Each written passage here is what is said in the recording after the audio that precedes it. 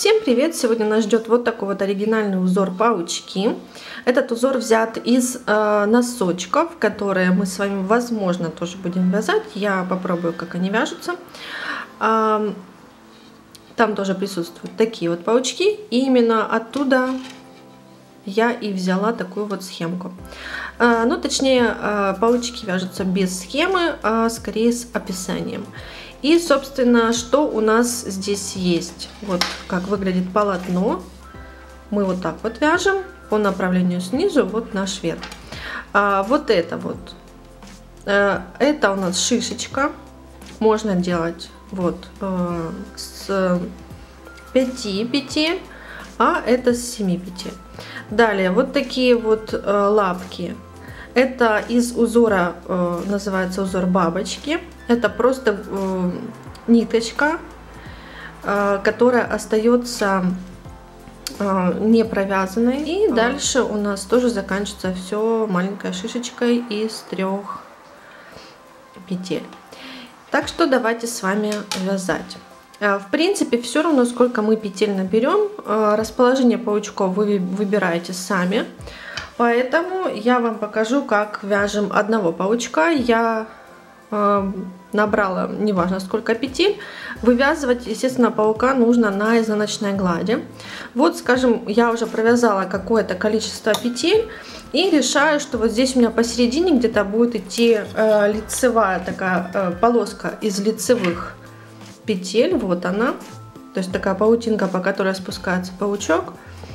И мы ее произвольно где-то посередине, либо сбоку, как хотите, начинаем вывязывать на протяжении какого-то э, количества рядов. То есть здесь у меня, допустим, вот такой вот короткий э, узор получился, здесь у меня длинный, здесь чуть покороче. Ну, то есть все зависит от ваших предпочтений. Итак, я просто вяжу до, скажем, середины своего образца и где-то произвольно начинаю вывязывать полосу из лицевых петель.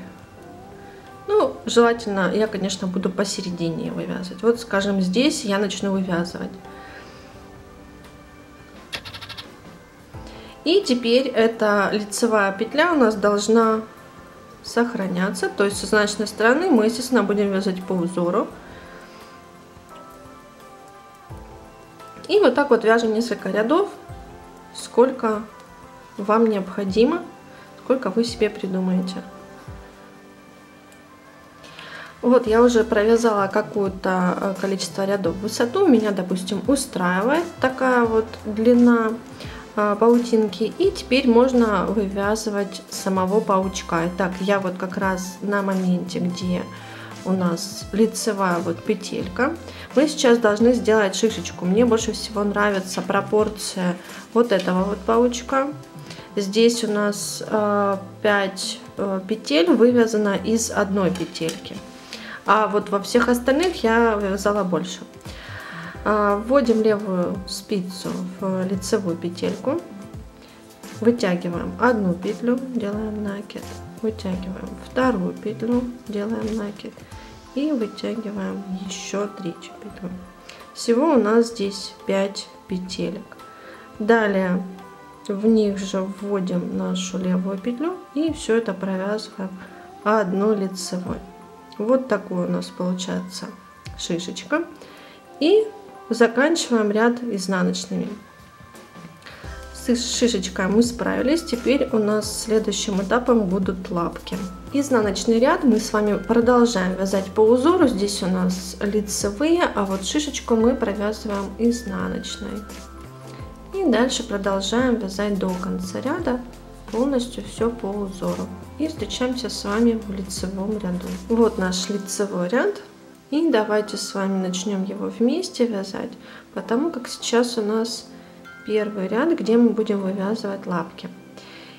Итак, вяжем мы с вами изнаночные.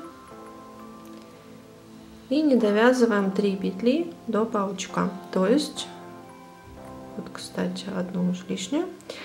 А вот наша лицевая петля, с которой мы вывязали шишечку. И вот три петельки. Мы их не провязываем. Ниточку рабочую мы перемещаем перед вязанием, снимаем раз, два, три, лицевая петля 4 и 3 изнаночных с другой стороны. Раз, два, три. То есть всего мы сняли 7 петель. Мы их не провязываем. Теперь нитка уходит за вязанием. Ну, точнее, она остается перед вязанием, потому как дальше мы работаем с ней, провязывая изнаночные. И таким образом нитка у нас закрепляется перед шишечкой. Изнаночном ряду мы провязываем по узору без изменений. И вот такие манипуляции с нитками повторяем еще три раза. То есть всего 4 у нас лапки будет, то есть 4 таких вот момента мы должны сделать. 4 э, не провязанные у нас э, петли должны получиться.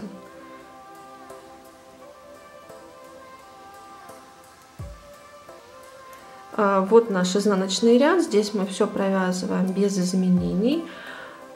И не обращаем внимания на вот ту непровязанную нитку.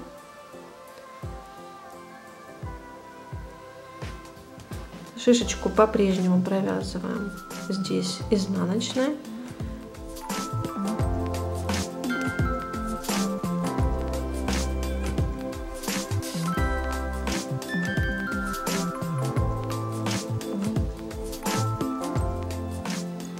Встречаемся на лицевом ряду. И снова мы с вами повторяем то же самое. А, провязываем начало ряда по узору. И внимательно следим, не довязываем до шишечки 3 петли. И снова оставляем 7 непривязанных петель и нитка перед ними.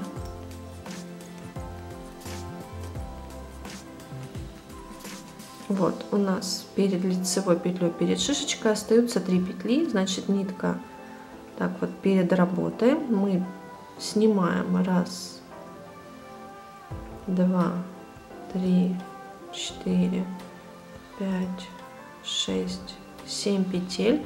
Теперь нитка вступает уже в работу. Не сильно мы натягиваем, то есть натягиваем по ширине вот полотна, сколько вот как лежат у нас петельки, на эту же длину вытягиваем и нитку. Не нужно, чтобы она была сильно в натяжку, она должна просто лежать свободно. И заканчиваем ряд. И вот так вот делаем еще 4, еще два раза. Всего у нас должно получиться 4 вот такие вот вытянутые нитки. Дойдем до лицевой, на этом остановимся.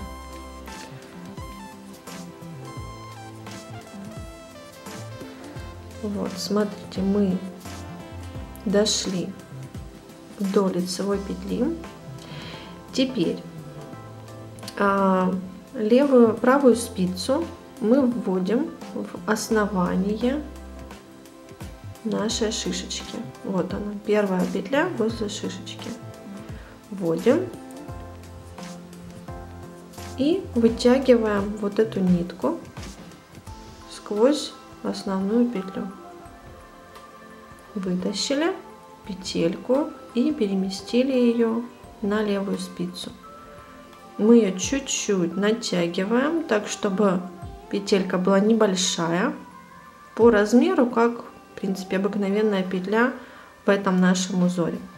Теперь у нас на левой спице есть вытянутая петля и петелька лицевая. Их мы провязываем как две вместе, но мы вытягиваем, провязываем лицевую, не снимаем с левой спицы, делаем накид и еще раз вытягиваем лицевую петельку. Теперь у нас такая маленькая шишечка здесь, это будет голова. И провязываем три вот эти вот петли вместе не сильно удобно здесь, но ничего. И дальше вяжем по узору. В следующем ряду у нас уже здесь не будет лицевых, будут одни изнаночные. То есть после паука мы с вами вяжем изнаночное полотно. Ну а так в целом вы можете фантазировать и придумывать свои варианты. Можно, например, на одной вот этой вот лицевой полоске поместить несколько пауков, то есть дальше полоса будет продолжаться и на ней будет находиться еще один паучок. Чтобы получилось так, как вот на моем узоре, после паучка я буду провязывать уже изнаночное, то есть в изнаночном ряду. После формирования паука вот эту петельку я буду провязывать уже лицевой, так чтобы у нас формировалась э, с изнаночной стороны лицевая гладь, а с лицевой стороны изнаночная соответственно. Ну и так давайте провяжем несколько рядов для того, чтобы выделить этого паучка на изнаночной глади. И тогда он будет смотреться. Вот такой вот у нас узор получился, но лучше он будет смотреться, если мы его перевернем. И он как будто бы спускается, наш паучок, вниз. Всем, кому понравилось, оставляйте лайки. Кстати, я хочу еще выпустить несколько узоров с использованием этого паучка. А, Подписывайтесь, кто еще не подписался. Всем пока-пока.